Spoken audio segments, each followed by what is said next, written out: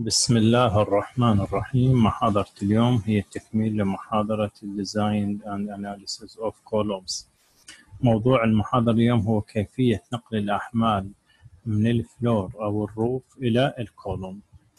طبعا طريقة التعامل راح تكون مشابهة اللي كنا نتعامل وياها لما ننقل الأحمال من ال one way slab أو ال two slab وتذكرون كنا نقول from slab from stem وال partition تقريبا مشابه لهذا الشيء راح يصير لل column بشكل عام الأحمال اللي تجي لل column هي from slab اللي يضم بها ال live load طبعا اللي هي أهم load و from slab وعندنا ال beam stem مثل ما كنا نضيفه لل beam وعندنا وزن ال column الحقيقي الميت أو ال self weight لل column بعدين ال P التصميميه اللي هي راح تصير P from slab و P stem و P column هنا لو تذكرون بالأمثلة السابقة كنا لما نروح نصمم كان يعطى السؤال ال Pu هالقد وال Mu هالقد كان يعني غرضنا الهدف من ذيك المحاضرات كيفية التصميم.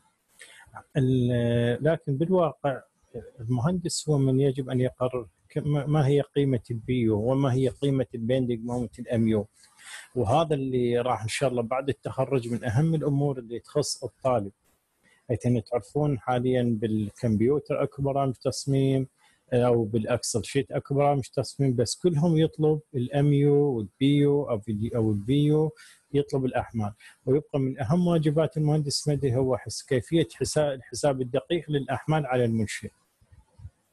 فهي المحاضرة مهمة جدا وتخص عنصر مهم اللي هو ال column. فاذا راح قلنا ال Pu طبعا هنا بال column إحنا لما نحكي على column نحكي على two types from loading عندنا ال Pu وال Mu فأول ما نرسم مخطط نحسم من عنده البيو بعدين نرسم مخطط آخر نحسم من عنده الاميو يلا نروح للتصميم. فالجزء الأول اللي هو part A هو ال axial load كيفية نحسب ال Pu قلنا هي عبارة عن من ثلاث component P slab زائد P stem زائد P column هسه أول شيء والمهم هي from slab ال P slab هي Wu slab يعني ال 1.2 بال dead load زائد 1.6 بال live load الخاص بال slab بال slab اللي يطلع كيلو نيوتن عن متر مربع. مضروب فيما يسمى tributary area اللي راح نمثلها ب L1 و L2 فد مستطيل L1 في L2 فاذا ال P from slab راح نسميها P slab هي Wu slab اللي مثل ما كنا نحسبه اللي خاص بال slab في tributary area اللي هو L1 في L2 بس هل نعرف شنو L1 و L2 ال tributary area هي الحقيقة المساحة بين السناتر اللي تحيط بال column. شلون يعني؟ هسه لو ناخذ هذا ال column الداخلي هذا ال column داخلي ناخذ center هاي الفضاءات منه نثبته اللي هو هذا الجزء. ناخذ center هذا الفضاء هذا بهالاتجاه ونثبته. اللي يحيط بال column ناخذ ال center اللي بهذا وال center لهنا فراح تطلع عندنا المساحة اللي تحيط بس اللي حددتها هاي السناتر. بمحيط ال column هي ال tributary area نسمي واحد من عندهم L1 و L2 مو مشكلة. مرة يصير هذا L1 أو هذا مو مشكلة. المهم هي ال area اللي تحيط area هي خطوط السناتر اللي تحيط بال column ال area اللي تحصرها دائما مدار ال column هي ال tributary area نسمي L1 و L2 لو ناخذ external column منا. ناخذ هذا ال column شنو يحط به؟ center منا. center هذا الفضاء وال center هذا الفضاء ثلاث سناتر تحيط فيه. تطلع عندنا هاي هي area واللي هي طبعا L1 و L2 ال corner center هنا الداخل اذا أربع سناتر تحيطه. ال external من هالجهة أو من هالجهة ثلاث سناتر. أما ال corner فسنترين هي منها هذا الجزء وهذا ال center. هاي المسافة هي tributary area واحد من عندهم L1 وواحد L2 طبعا إذا تشوفون يعني بعض راح نشوفها بالمثال بس إنها استباق حتى خليها ببالكم. نلاحظ إذا كانت الفضاءات متساوية مثل هاي الفضاء كله 5 5 5 5 نلاحظ إن L2 هو يطلع 5 ليش؟ إن center منا اللي جاي هو 5 على 2 وال center منا 5 على 2 فيطلع منا هذا هو طبعا جمع بسيط يطلع 5 كذلك إذا فرضنا هذا 10 فمنا اللي جاي هي 5 ومنا اللي جاي 5 فيطلع هذا 10 هاي مرات كتسهيل. أما الشيء المهم اللي أشيره اللي بحالة ال external اللي بالحافات ال external وال corner هي إنه دائما السناتر تعطى من نصف ال column. ال center يعطى من نصف ال column. فلما نريد نحسب ال L1 مو للنص إنما لنهاية ال column. فينطي إذا كان ال center فرضا 5 10 مثل ما قبل شوية حكينا 10 فالخمسة من ال center إلى النهاية.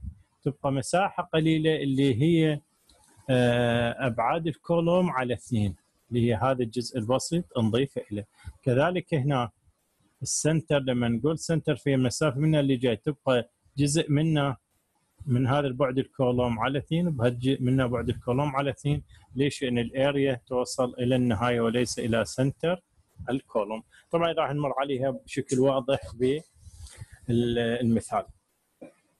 فاذا الجزء الأول from slab هو Wu slab في ال tributary area اللي هو L1 في L2 واللي هنا قلنا المساحة المحصورة اللي تحد بال column واللي تحددها سناتر البنالات. وقلنا إذا ال column داخلي تحط بأربع سناتر إذا خارج ثلاث سناتر إذا corner سنترين. هسه نجي الجزء الثاني هو ال P stem. إن W U stem عرفنا له تذكروه اللي هو ال H لل beam ناقص ال T لل slab مضروب في بي دبليو في جاما في 1.2 نفسه هنا نضربه مرة ب L1 ومرة نضربه ب L2 يعني شنو؟ نطلع الوزن مال هاي ال stem اللي داخل ال tributary area يعني وزن هذا ال beam اللي هو شنو؟ W ال beam في L1 راح يطلع لنا وزن ال stem والدور نضرب دبليو يو في دبليو يو ستيم في L2 يطلع لنا أوزان ال stem ضمن هاي ال area اللي هو ال stem هذا اللي هذا طوله وال stem اللي هذا طوله. فكمعادله هو W U stem في L1 زائد W U stem في L2 ال self weight هو وزن ال column. اللي هو الحجم في الجاما حجم ال column شنو؟ B إذا rectangular أو إذا circular إذا rectangular ال area مالته B في H في طول ال column ارتفاع اللي هو يعني طول آه، ارتفاع السقف ال فراح يصير عندنا حجم. أضربه في جاما صار وزن. أضربه في 1.2 صار عندي ultimate أما إذا كان circular فال area π على 4 بال H تربيع اللي خاصة باللي يعني أبعاد ال column قد ال diameter مالته π على 4 بال H تربيع. في طول ال column صار حجم في الجاما صار وزن في 1.2 صار عندي load فإذا هاي ال P slab عرفناها وال P stem عرفناها وال P column هسه ال P هي مجموع الثلاث P slab زائد P stem زائد P column هسه الجزء الثاني بعدين نرسم مخطط آخر نحسب من عدة ال bending moment طبعا ال bending moment يا أما فضاء واحد آه، طبعا بشكل عام التقاء ال column مع ال beam هو fix يعني bending moment فاللي عندنا آه اللي عندنا شنو؟ يا أما فضاء واحد راح نعتبره fix fix وال M U هو W L square على 12 أما إذا فضائين أو أكثر ونستعمل طريقة ال coefficient اللي هي coefficient واحد على 10 واحد على 11 في W في واحد على 16 W U بين في L N تربيع. فإذا إذا فضاء واحد ناخذ W L square على 12 إذا فضائين أو أكثر نستعمل طريقة ال coefficient هنا نريد نبين تأثير شلون كيفية يعني عدد الطوابق في حساب ال design load هسه ناخذ هنا بناية مؤلفة من ثلاث طوابق. هذه story 1 أو الطابق الأول الطابق الثاني الطابق الثالث. هسه طبعا من إحنا بالبنايات هاي شوفوها نريد نصمم نبدأ من الطابق الفوق وإحنا نازلين خاصة بالأعمدة لأنه حتى نحسب التراكم وراح نشوفها شلون. فهسه نروح للطابق الثالث. القوة اللي تأثر عليه هي الأكسيال لود الموجودة بالطابق الثالث. لكن ال axial load بالطابق الثاني لو نأخذ هنا. ال axial load اللي تجينا هي ال axial load اللي بالطابق الثالث واللي بالطابق الثاني فال P U بالطابق الثاني هي P U 2 زائد P U 3 أما بالطابق الأرضي فال axial load اللي توصل هي مالت الثالث والثاني والأول مجموعة. فاذا ال P U للطابق الأرضي الأول هي P U 1 زائد P U 2 زائد P U 3 وهذا اللي يفسر أنه دائما ال column في الطابق الأرضي أكثر بكثير من الطابق السادس مثلا. ليش؟ ال axial load اللي توصل للأرض هي مجموع ال axial load جميع الطوابق. أما ال bending moment هسه نجي هنا الطابق ال P U الطابق الثالث. لأن ال axial load اللي هي فقط ال P U اللي تخص الطابق الثالث. أما ال bending moment bending moment طبعا هنا واحد على 11 من الجهتين. واحد على هذا إنه تعرفون. هنا واحد على 10 الوجه الخارجي وواحد على 11 الوجه الداخلي. أما الداخليات فواحد على 11 من الجهات جميعها. فإذا كان فهنا ال M U اللي ندخله بالتصميم هو محصله ذن الاثنين فبهاي الحالة إذا هنا ف W L square على 11 ناقص W L square على 11 طبعا إذا على فرضية إن الفضاءات مختلفة. إذا الفضاءات متساوية شو يطلع لي؟ يطلع صفر. ال M U من نروح للطابق الثاني. ال axial load اللي تجيني P U 3 زائد P U 2 بس ال bending moment اللي يخص فقط beams الطابق الثالث الثاني. فيبقى نفس الشيء. يعني ما يتأثر فقط يشتغل بهذا الطابق. لما نجي للطابق الارضي كذلك ال P U تجميع للثلاثة. لكن ال bending moment فقط. ال bending هو المحصلة لل bending moment بالطابق الأول. هنا للتوضيح هنا إذا كان هنا على هذا ال column فإن ال bending moment هو 1 على 10 ناقص 1 على 11 ما يطلع صفر ولكن قيمة. قليلة. فكل ما كبر الفرق بالفضاءات زاد ال bending moment. آه، فنلاحظ إنه بالداخليات ال bending moment مو حاكم ولكن بالخارج ال column الخارجي ال bending moment مهم جدا. احتمال إنه يجي من جهة واحدة ماكو محصلة مباشرة يدخل على ال column. فعاد نشوف ال corner أو الخارجيات بين ال bending moment الصافي على ال column أكبر من الداخليات الداخليات واحد يطرح من الثاني. طبعا هاي الفكرة كلها نبينها بالمثال اللي راح نشوفه. المثال اللي عندنا طلاب عندنا فد بناية. بناية.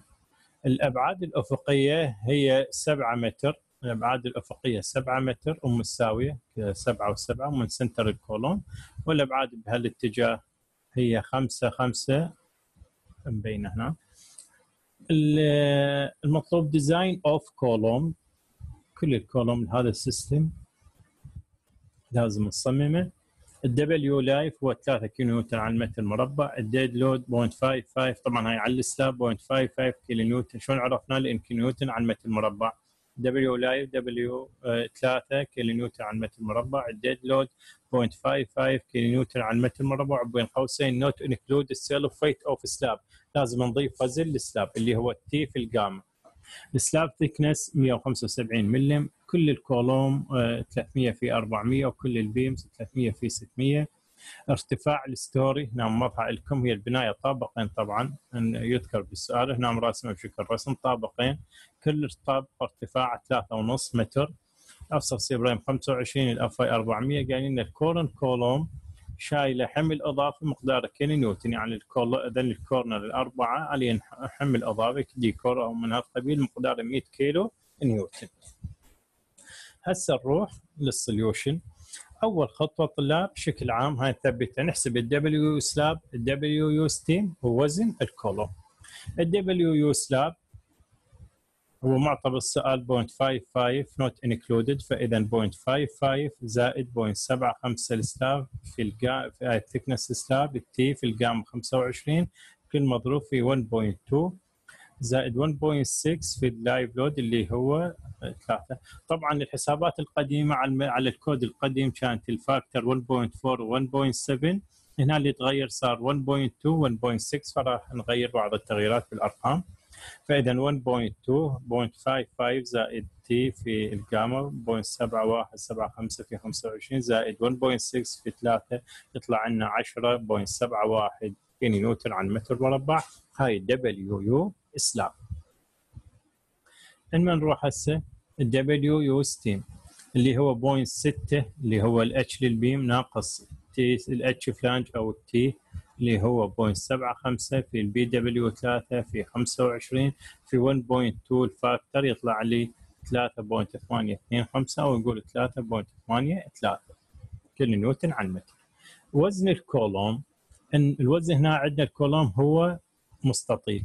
فال area مالته 0.3 في 0.4 في الطول مالته اللي هو ارتفاع الطابق 3.5 هاي صار حجم. في 25 الجاما في 1.2 ال factor يطلع 12.6 هنا طلاب بدي انوه الفت شيء هو هسه بالمثال يقول design all column أنا هسه راح ألاحظ بعض الأمور. لاحظ إن ال corner column إنه مشابهات لأن كلهم نفس الأبعاد 5 في 4 في 7 5 في 7 5 في 7 5 في 7 فإذا إذا أصمم هذا ال corner بعد ما يحتاج أصمم الثلاثة البقية. كذلك ذن الاربع ال interior متساويات. فإذا أصمم هذا بعد ما يحتاج ذن الثلاثة أشتغل لهم. وكذلك ال external. فإذا هذا من هالجهه external عندنا ومن هالجهه external عندنا وعندنا corner و interior اثنين external واحد interior واحد corner فبدل ما نصمم 16 راح شو نصمم؟ فقط أربعة اعمده اللي 1 1 2 3 4 هسه نروح راح نبلش بال column 1 اللي هو ال C 1 اللي هو ال interior هذا ال column ال interior واحد من ذني من ال interior راح أنا آخذ هذا.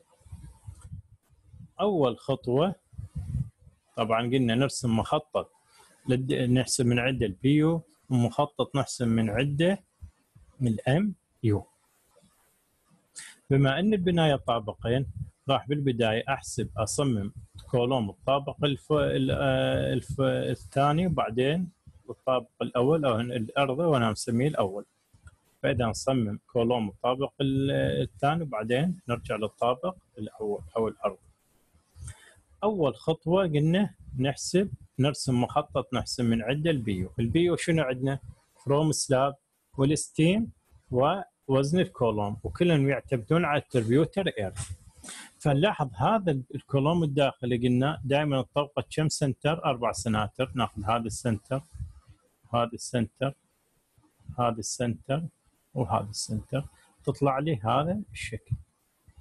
هسه هذا الطول إيش قد؟ سبعة مبين لأن منا اللي جاي ثلاثة ونص منا اللي جاي ثلاثة ونص فهذا سبعة ومنا كذلك منا اللي جاي اثنين ونص ومنا اللي جاي اثنين ونص هم يطلع خمسة في ال tributary area جد ما هي خمسة في سبعة.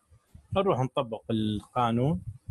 ال Pu اللي هي W slab اللي هو 10.71 في ال tributary area 5 في 7 يعني هسه واحد من عندنا ال 1 وهذا ال 2 فإذا W slab في L 1 في L 2 10.71 في 5 في 7 زائد W stem في L 1 زائد W stem في L 2 اللي هو 5 زائد ونزل كولوم اللي هو 12.6 تطلع لي الدبليو يو للطابق الثاني هو 433.41 طبعا هنا ال bending moment bending moment 1 W L square على 10 ناقص 1 على 11 بما إن الفضاءات متشابهة راح يطلع المقدار تقريبا 1 على 10 ناقص 1 على 11 مقدار جدا قليل. فراح يطلع قريب للواحد فليش أروح أسوي حسابات ال Rn وال e فلل interior المسافه للفضاءات المساوية على الجانبين راح أعتبره صفر. هو مو صفر قلنا جد مقداره 1 على 10 ناقص 1 على 11 في W Ln تربيع. بس هنا لأنه للسهولة ناخذه صفر أخذناه صفر. هسه إيش نحسب؟ بعد هسه عد ال Pu 433.45 وعد ال Mu صفر. فراح نرجع لل procedure مالنا راح نصمم عمود. مثل ما كان يعطى بالسؤال ال Pu هالقد وال Mu هالقد هنا بعد إحنا حسبنا ال Pu وال Mu وراح ندخل للتصميم. أول خطوة نحسب القامه فش نسوي؟ نحسب ال d prime اللي هو 40 cover زائد 10 tie زائد d bar على 2 بال 25 يطلع 62 ونص. 400 ناقص 62 ونص على اتش ناقص 2 d prime على h يطلع 0.69 يقول تقريبا 0.7 أول خطوة شو أحسب؟ ال Rn ال Kn العفو اللي هو ال Pu لا ننسى نشوف نضرب في 10 أس 3 حتى نحولها نيوتن. في ال phi tie 0.65 في 25 في ال A gross 300 في 400 يطلع لي 0.222 قلنا ال Rn تقريبا صفر. فاذا هنا راح نشوفكم نروح. لو بنسوي ندخل للجاما اللي هو 0.7 وال R وال Kn 0.22 نلاحظ إن هاي نقطة واقعة بالمكا... بالحيز اللي جوا ال 0.00 0.01 يعني جوا ال 0.01 وقلنا إن إذا أي curve جوا ال 0.01 إيش ناخذ؟ ال rho يساوي 0.01 أو rho minimum نحسب ال As total ال rho 0.01 في ال b في ال t 300 في 400 يطلع 1200 اللي هو 25 ال area 510 فال number of bar 1200 على 510 يطلع 2.35 طبعا المفروض أقول 3 لكن بما إنه ال column rectangular فلازم عدد زوجي ولا يقل على أربعة فراح ناخذ أربعة مثلا أربعة وبال 25 هسه راح نروح للطابق السفلي الطابق الأول. فنلاحظ هنا الطابق الأول ال axial تجي له من الطابق الثاني والطابق الأول وهي متشابهة. فاذا بال lower part أو ال first story ال Pu هي مع الطابق الأول زائد الطابق الثاني. 433.41 زائد 433.41 ويطلع 866.82 وال M هنا راح نفرضها صفر لأنه قيمة قريبة للصفر.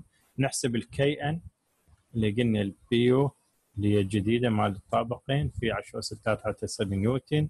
هنا 0.65 لأنه tie في 25 في ال A gross 300 في 400 يطلع لي 0.445 وكذلك يطلع جو ال rho minimum اللي هي 0.01 فإذا نقول ال rho يساوي rho minimum ونفس والأي يطلع نفس هاي 1200 ويحتاج لنا أربع number 25 نروح نصمم ال ties. ties اما 16 في ال d bar اللي هو 25 أو 48 بال d ties اللي هو 10 أو 300 أو 400 فنلاحظ عندنا اصغرهم هو ال 300 فنقول use number 10 أو phi 10 at 300 ties.